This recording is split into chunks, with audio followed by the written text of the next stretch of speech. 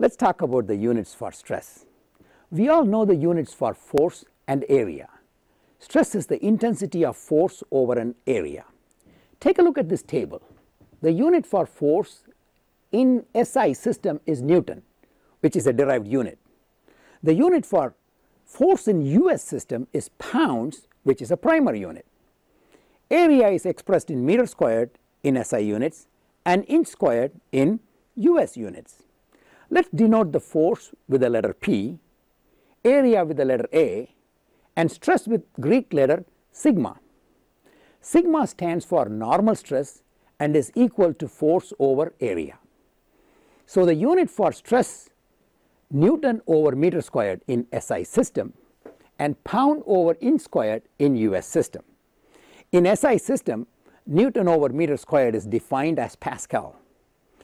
Blaise Pascal was a French mathematician, inventor and a philosopher.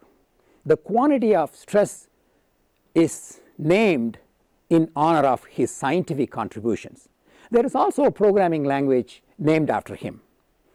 In US system, pound over inch squared is defined as PSI. Keep in mind that Pascal is a small unit, so we would be often using kilopascal, megapascal and gigapascal.